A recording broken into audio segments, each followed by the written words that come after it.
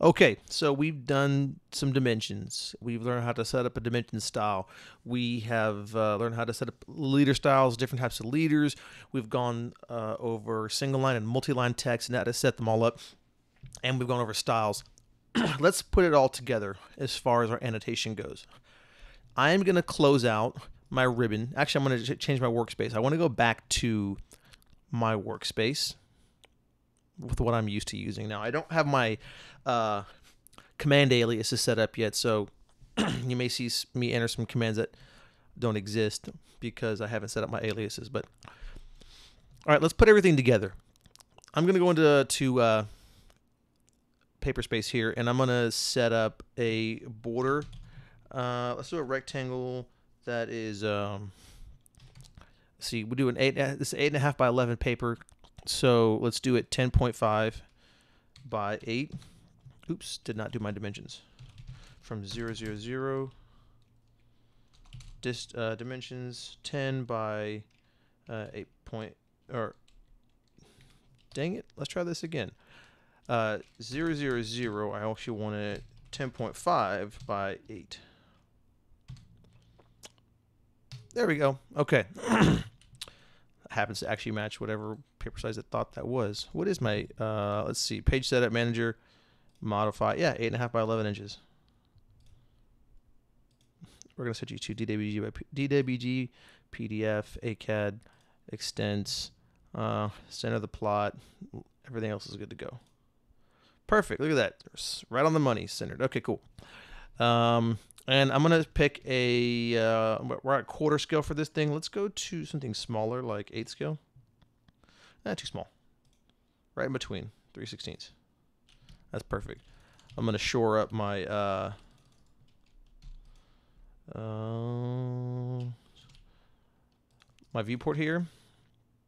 Okay.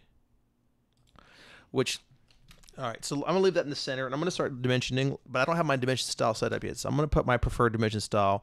So try to follow along. If you've gone through the other videos, hopefully this one shouldn't be too far of a stretch for you to follow along. Uh, I'm gonna set my uh, all my um, properties from my dimension line and extension lines to by layer, so they follow the properties of the, of the layer. Um, I'm going to let's see extension beyond dim lines. We're going to set that to 1 16th of an inch. Offset is 1 16th of an inch. Uh, I'm not going to worry about baseline spacing because I'm not going to do that. Under the symbols and arrows, I'm going to leave all of these closed. You know what? Just for the sake of like doing something different, let's go with architectural tick. Leader can be close filled. Arrow size is going to be 1 8th of an inch. Um, break size is fine at 1 8th of an inch. Jog height factor will be 1 um, instead of 1.5. We don't need to worry about jog angle or arc length. I'm not doing those. My text is going to be uh, main. We're going to use main now. Um, but I'm going to go modify. Well, I can set my text height here uh, at 330 seconds. Industry standard. Set my text color to by layer. Fill color to none. Um, no frames around text the placement is going to be above the dimension line for my vertical placement. Horizontal will be centered, view direction left to right. Offset from dim line, 330 seconds. Let's go 1 16th, which is 230 seconds. Uh, text alignment is going to be aligned with the dimension line. My fit, either text or arrows, whichever is best fit, that works fine. Placement beside the dimension line is fine. Uh, scaling of 1 over here, because I'm going to be in paper space. Um, we do want to draw the dimension line between extension lines if my dimensions are too small. We want to force that dimension line to show up. Units are going to be architectural. My precision is 1 16th. That's fine. Fraction format will be diagonal. Um, no prefix, no suffix, no round off. Uh, my zero suppression, we are not going to suppress inches, but we will suppress feet. Um, and my scale factor is fine at 1 because we're going to auto scale through the viewport. I just realized I haven't gone through scaling in the viewport. Okay, well, I'm not going to worry about that right now. So, um, if you hear this section of the video, because I'm not going to edit this, I don't really care. But if you hear the section of the video, I'm probably going to go back and add a video on dimension scaling. So if you're hearing this, just ignore it. I'm going to add one later on and insert it in the series. Okay, um, we don't need alternate units. Everything else here is good. Hit OK, hit close. Uh, we got our text style set up. Actually, it's saved from the last time I was I was in a doing this. My title text I want it to be uh, good for this size, so I'm going to set this to three eighths now because we're in paper space. Okay, and M leader style. Let me go check out what that looks like. Text height 330 seconds. Uh, landing gap is 1 16th. Leader structure, that's fine. Landing distance, 1 8th is what I want to use. And leader format, arrowhead, definitely not 1 8th. Break size, 1 8th is fine. Oh, I want to change that to main also. Standard main. Yeah, there we go. All right, cool. Yep, yep, yep, yep, yep. Good. Close. All right. Let's do some dimensions. I'm going to do a uh, dim linear. Turn my OSNAP back on. Do a string from here. Do a dim continue. Do another set from here to here. Um, and I can... This thing works uh, this uh, dimension space works awesome, but keep in mind, uh, and I'm going to use it right now to space this thing. I'm going to set this thing at uh, probably quarter inch. So I'm going to click this one and click that one and set it to um, one quarter. Uh, did we not do that? Oh, that's right. I forget. Uh, dimension spacing does not work well with fractions, so you have to use decimal. So 0.25. All right, cool. Two things. oh, well, so first I want to let you know uh, so enter your dimension style. Over here, when you go to modify and you go to fit, right here you have text placement besides the dimension line, over the dimension line with the leader, over dimension line without a leader. If you choose to use, did not mean to rhyme that, uh, the dimension space command that I just did, it will set your text placement back to beside the dimension line. So keep that in mind. It works great, but and it, it, it's awesome if you're already using beside the dimension line. But if you're not using beside the dimension line, if you're using something like this, my company tends to use over the dimension line without a leader because we, we move the text manually a lot. Um, then you're going to want to uh, keep in mind that if using that command will set set uh, your dimensions that you just modified to be beside the dimension line. Okay. All right looking at these uh, dimensions in place, I, I know that I feel like I want to make a few tweaks. So I'm going to go to my dimension style editor, modify. um, my offset from the dim line, I actually want to be 132nd. I think that's decent. Um, I don't know why it just made all this stuff look different, but whatever. Um, I also want to change my architectural tick size down to maybe 332nd, or probably 116th actually. No, no, 332nd. Let's try that. Hit OK. Yeah, that looks more reasonable. Not, I mean, even these could stand to be a little smaller. Actually, I will do that. Make those 116th. Yeah, I like that. I like that. I like that a lot. All right, cool, cool, cool. Uh, stretch this and turn my ortho back on. Uh, do a little dimension from like here to here, maybe. And I can just put this space this manually back at 0.25. Um, and probably do a uh, dimension from here to here. Oh, it didn't aligned. Not mean to do that. There. Cool. Um, it chose to put this one. Let me open my properties. Move text, no leader. What's my default? When did that change? Did I accidentally change that? Did anybody see me change that? Modify, primary units. I'm sorry, fit beside. Hit OK. Hit OK. There it goes. So it, it places it on the outside. All right. So, um, do I have a dimension layer? Did I make a dimension layer? I did not. So we'll make a new dimension layer.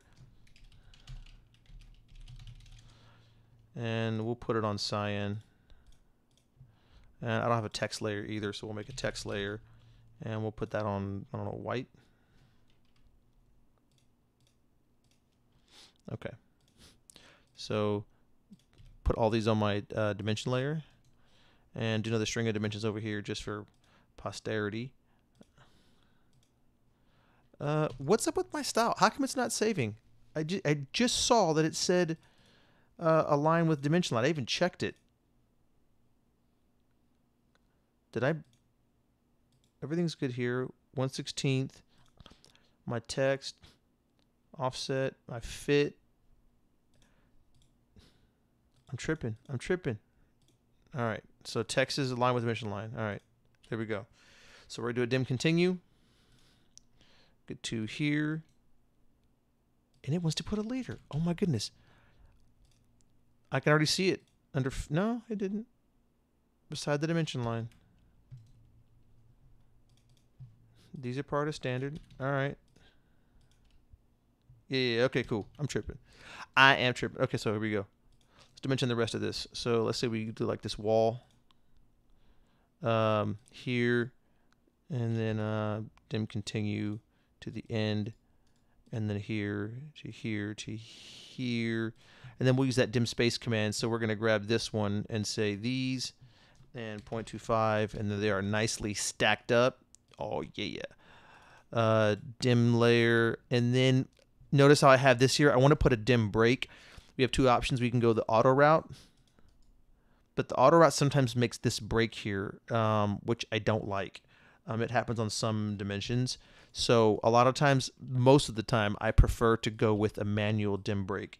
So I'm going to say manual. Just give something I feel like is roughly uh, equal. You can see it kind of creates this break line. It's, it's not exact, um, but I'm not too concerned about that. And I'll do another one, manual, and I'll just, uh, this one, Okay, so it's not allowing me to snap to the end of the dimension line, and there's a reason for that. If you go to your options and go to drafting, uh, is it drafting? It's under snaps. I know it's under snaps. So yeah, it should be under drafting. Uh, ignore dimension extension lines. If you uncheck that, you should be able to snap to that. So like when you go do a break line, here, oops, and I do a manual, I can snap to the extension line right there. So that way, because I already I created one and made a break, and by doing that, say I can snap to the extension line now. Again, that was options. If you don't feel like going back under the drafting tab, uncheck ignore dimension extension lines. This way you can snap to your dimension extension lines. You can also uh, uncheck ignore hatch objects and snap to your hatch pattern. So, uh, okay. So there we go. We had that nice little break in there now. So that looks nice. Do we have do we have a need for that over here? No, we don't have a need for that over here. All right, so we got our dimensions. Let's add uh, some leaders. So let's do again. We're gonna go with uh, multi-leader. So I'm just gonna type in m leader. I normally have a command alias for that, but I'm not gonna worry about that right now. Uh, I'm gonna put that here, and I'm gonna say, um, uh, let's say uh, usually what, what did I used to call these windows out? It was like a like a 3060 window. You know, like three foot, six foot, three foot by six foot, or you can say something. Well, if you had a window schedule, let's say three foot by six foot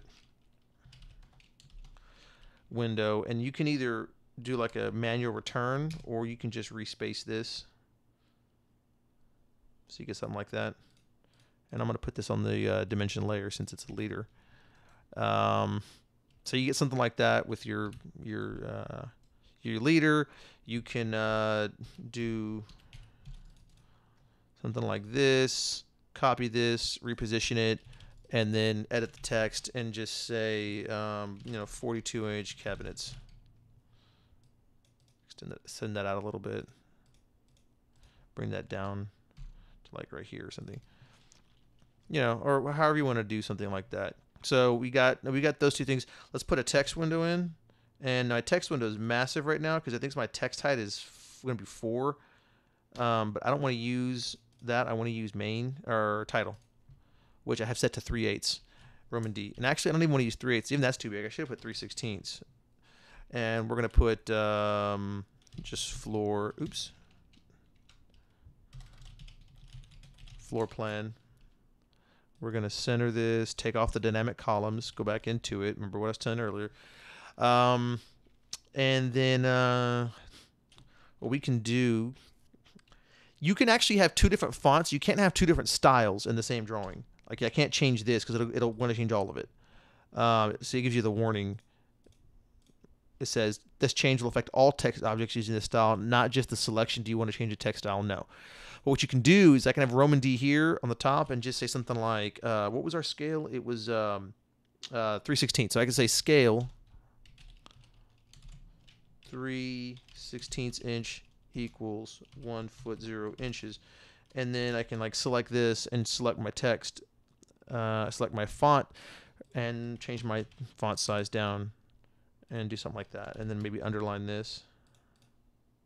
And I can even like do like I can set this whole thing so like a like a um, maybe I want my title text to be darker, so I put my title text on. Uh, like we put the whole thing on a text color, a text layer. Um, and I can change my title text. Let's say like purple was a heavier color. I can do something like that and just change that so that the this comes out real heavy and this comes out like a lighter color.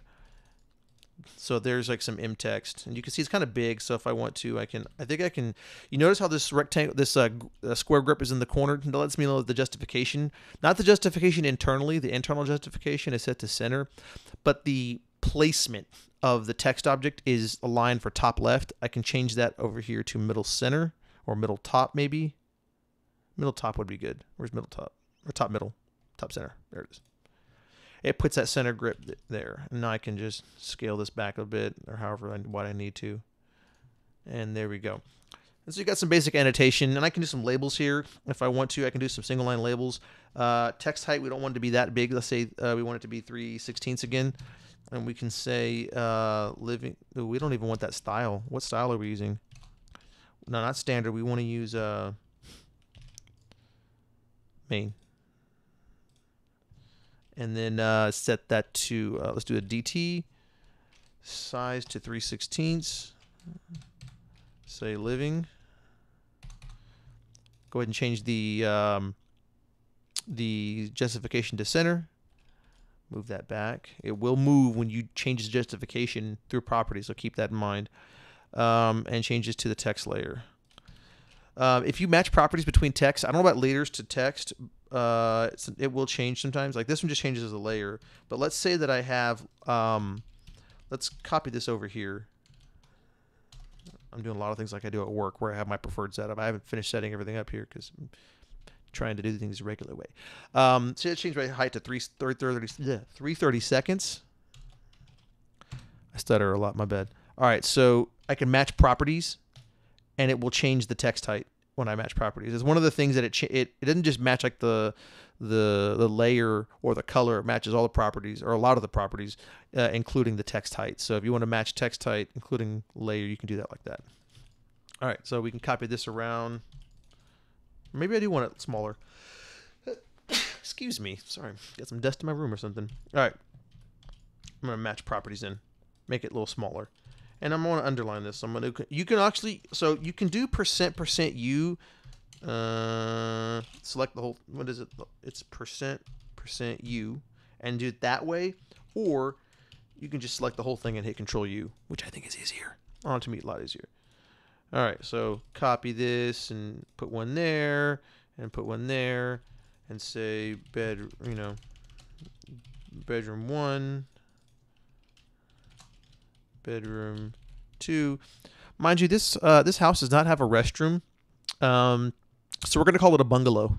I think that works better, or a shack. It's got a kitchenette though, that's a plus, and a back door. I don't know where it's going to. Uh, so and bedroom two has no windows. It's kind of a prison cell. moreover, all right. So uh, these are all on my text layer. I prefer not to have things on the on a white color for layers. Um, I do. I mean, I've, I've definitely used them on white layers. The reason being is because a lot of times zero will be your default layer, and you may not be able to tell quickly if something is on the zero layer or the proper text layer. So it's a good a good practice to try to put you know stuff on other layers. In this case, we'll use uh, I don't know green. I don't. I'm just picking random colors here. Companies have their own preset colors and all that. So, um, but this is the colors I'm going with. All right. There we go. And there we there's our annotation. We've just annotated a house basically. Um yeah. There you go. There's annotation. Um I do have an example of like of of uh, annotation somewhere. Uh, it's you're looking through all my personal files. Let me let me uh find it. I don't even know, honestly. I don't remember. I I have another drawing. I'll probably bring up an example drawing in another setting, but just not right now. Um, that's it. So hopefully you have a, an understanding of everything that goes along with annotation, like for the basics. Um, we did M leader, we did dimensions, we did text. Um, I can't really think of any other. We didn't do any circles, so maybe we'll do a radius. You can do a radius dimension like this. Um, if you got to show the radius or an angle, if you want to show the angle of an opening or something like that, you can do. Well, I, I don't have it. I need it in order for this this to work. I have to have something here, like a threshold or something.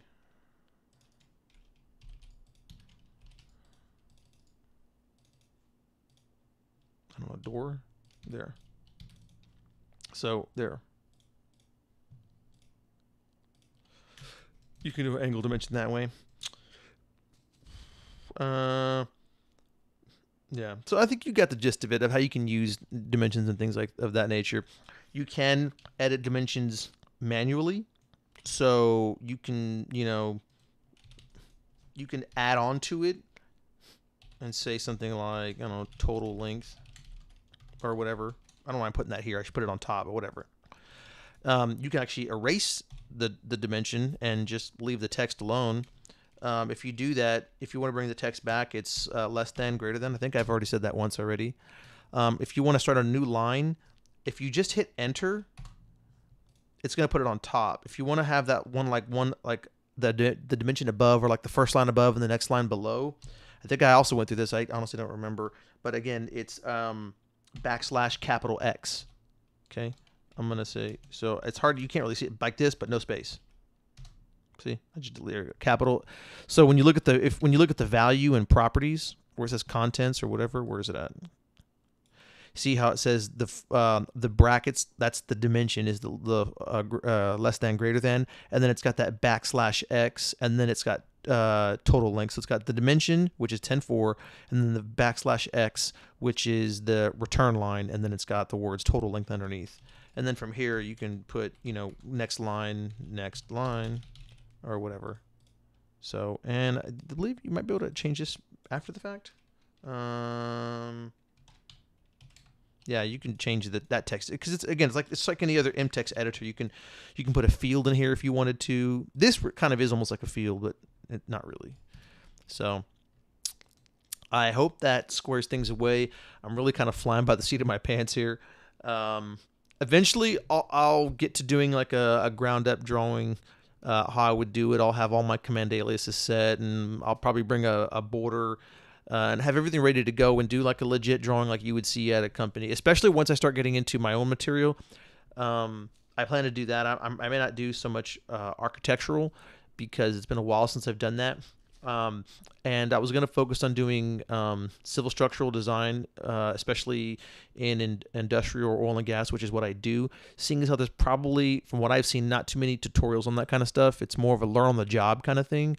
Um, I figure it would be helpful to have something like that uh, for people to learn from, um, you know, without having to wait to see what it's like. So, uh, and there you go. Putting it all together with our annotation.